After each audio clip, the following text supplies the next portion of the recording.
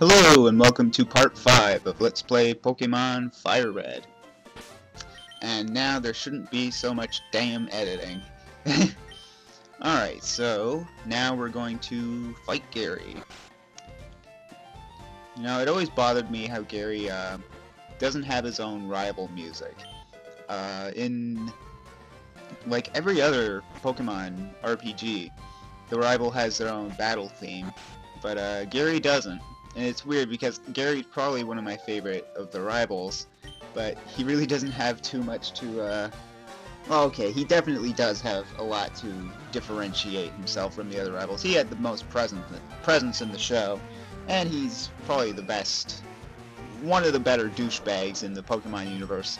But, uh, I don't know, I always thought Ronald from Trading Card Game was way cooler, because, uh, I, I briefly mentioned this in one of the other parts, but like Gary is a jerk and like Gary Gary's a jerk, but he's not cool is the thing.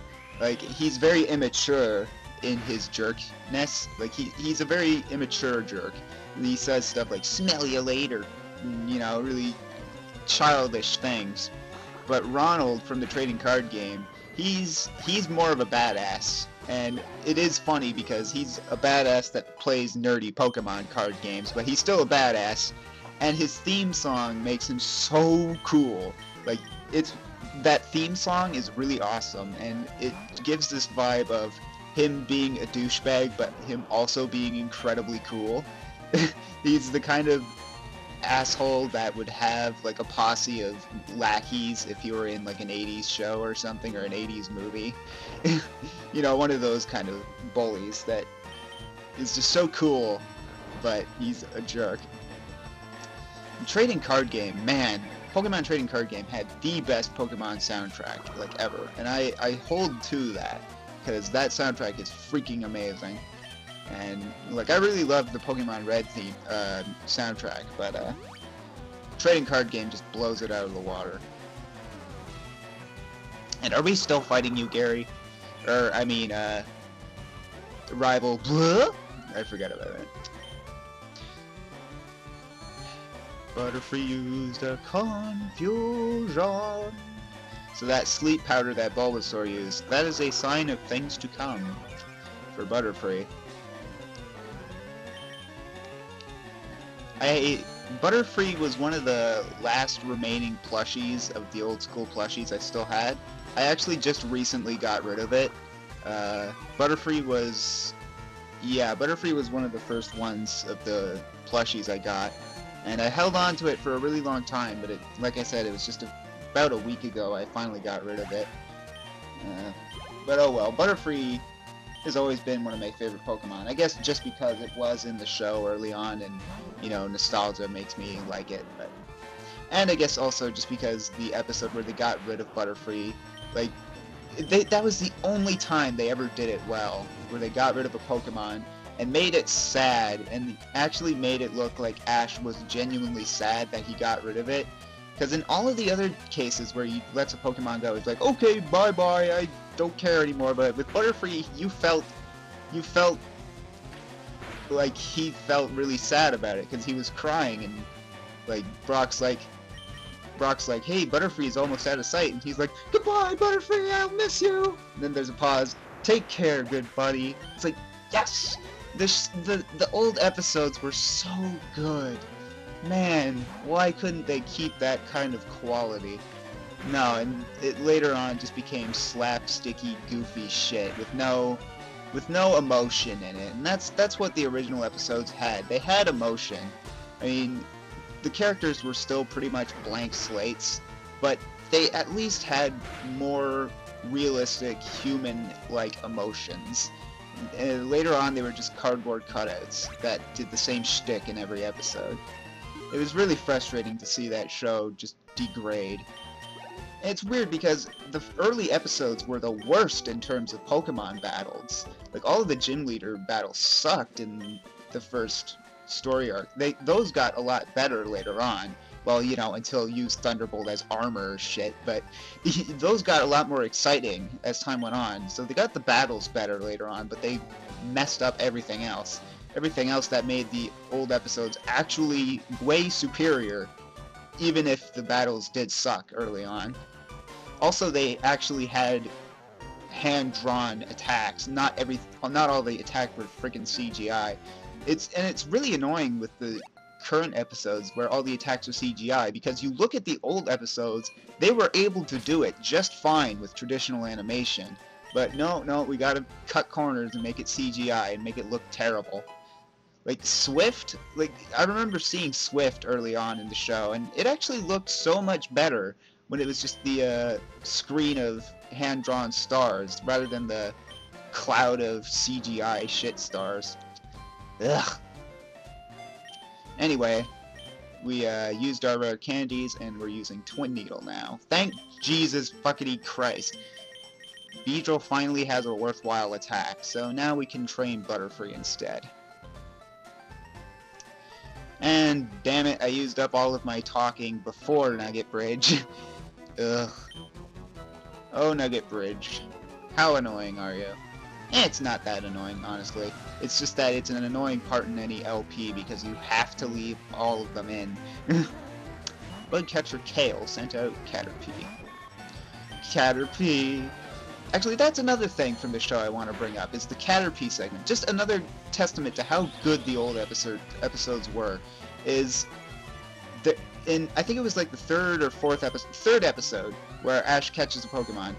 They have this whole segment of it's just Caterpie and Pikachu sitting out on a tree stump at night, and there's no actual dialogue or subtitles. It's just Caterpie and Pikachu talking. And if you know, and if you watch it a few times, you really start to pick up the conversation that they're having. Like you can you can see what they're talking about by uh, their by their actions and the the way they're moving. Like when Caterpie like stands up on his hind legs, that means like he's growing, he's evolving. Then he spins around and he flaps his arms like that's him being a, that's him being able to fly with his wings and be Butterfree. It's really well done. God damn it! Why? Ugh, this old show is so good, and I still hold. I still argue that to that to this day is the people who say that Pokemon is a shitty show. Go back, watch those original episodes again. Watch the first story arc again or at least watch like maybe the first 30 episodes or so. Those were awesome. And the first six, the first five episodes in particular, those are genius. Those are like incredible. That is, it's no wonder people got hooked into the show because it was so good at first. It was so good, and they just screwed it up later on. God damn it. How dare you ruin such an amazing show? I'm second, now it's serious. Wow, this has just been the rant about how good things were in the past episode. And you know what's odd? Is that the show was incredible back in the day, but the actual Pokemon game, looking back at it, really doesn't hold up. Like, the original Pokemon Red is total garbage. like, the, if you're gonna play first gen, you have to play the remakes because the first games are just broken messes. They do not hold up at all, and I don't care what any nostalgia whore says. I grew up with those games. I grew up playing Red. I grew up watching the show, collected the plushies, collected the cards, collected the figures. I collected everything. I was Pokemaniac through and through. Watched all the movies in theaters. Those original games do not hold up. They suck. They are terrible. They are just awful games. Gold and Silver, I still say are great. I actually prefer the original Gold and Silvers over the remakes. I don't know why, just something about the remakes visuals really turned me off. And I know that's a lame excuse to say why I don't like it, but honestly, I often don't have great excuses for why I don't like something. But it was something about the visual style that I just really didn't like about the remakes of Heart Gold Soul Silver. It just felt unnatural. Like I wasn't a fan of that art. I wasn't a fan of the fourth gen uh, graphics anyway. So to see the fourth gen graphics uh, pasted onto one of my favorite childhood games really wasn't that appealing to me. So it, those games just I know people say, "Oh, you got to play the remakes for those," but I I wholeheartedly disagree. I say you have to play either gold or silver, the originals, to uh, fully enjoy second gen. I mean, I know there was a lot of uh, great extra bonus content at the end of the game. Apparently, I didn't get to all the extra bonus content, like post-game stuff. Like, I, I mean, I, by that I mean I didn't get past Red in the remake. Like, post post game stuff because the post game stuff is Kanto, and then the post post game stuff is all the new stuff, which I didn't get to all that. But uh, whatever. I did my best. I have no regrets. I'm number four. Getting tired? Actually, no. I've been talking about everything else about Pokemon except what I'm watching. Nidoran Male you know, fuck Nidorans, because they had the only bad episode in the Orange Islands. I, I don't care what anyone says, like, the Orange Islands, yeah, they had Tracey, which, to be honest, I would rather have Tracey over Johto-style Brock. Honestly, I just fucking hated Brock near during Johto, so I actually liked Tracey because it was not Brock. But, uh, Orange Islands was awesome. Nobody seems to realize that. Like, go back and watch the Orange Islands. Lots of awesome stuff happened in Orange Islands. Like, that was probably some of some of my favorite episodes of the whole series. A lot of my favorite episodes of the whole series are in the Orange Islands. Like the best Team Rocket episode was in Orange Islands, where you really got the feel, you really understood why the three of them stuck together. Like even though they bickered and argued all the time and they didn't seem to really enjoy what they were doing, you really felt how much they cared for each other in that episode. That's one of the best episodes of Pokemon. Is the Team Rocket episode in uh, in uh, Orange Islands where Meowth becomes a diet, like Meowth becomes this revered deity, and like Jessie and James are gonna leave him behind, but they all feel they all feel so uh, uncertain about if they should leave each other they feel they start to feel really bad and then they realize how much they care for each other and they get back together. It's a really nice episode. It's my favorite Team Rocket episode. And then in Orange Islands there was also Charizard starts obeying, which is awesome. Uh, and then uh, right after that episode is when Pokemon 2000 takes place, which is my favorite Pokemon movie. And then uh, what else happens there? Snorlax. Snorlax is fucking awesome in Orange Islands. I mean, Snorlax, those the, Snorlax episodes made me. those, those two episodes are what made me like Snorlax as one of my favorite Pokemon because he is fucking invincible in Orange Islands. like he is the most awesome thing. One of the most awesome things in the entire series is Snorlax because every appearance he's in, he's just incredible. Like nothing can stop him. It, it really goes to show just you don't fuck with Snorlax or else you will get destroyed. uh.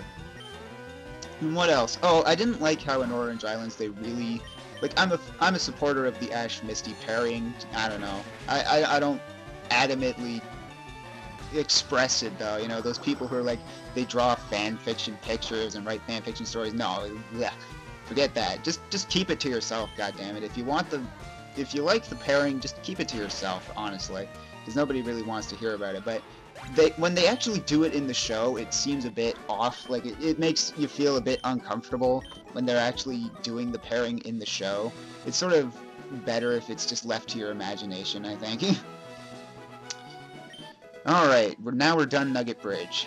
Okay, TM45, that's Attract, and that will be into that will be taken into play later on uh, much, much, much later on.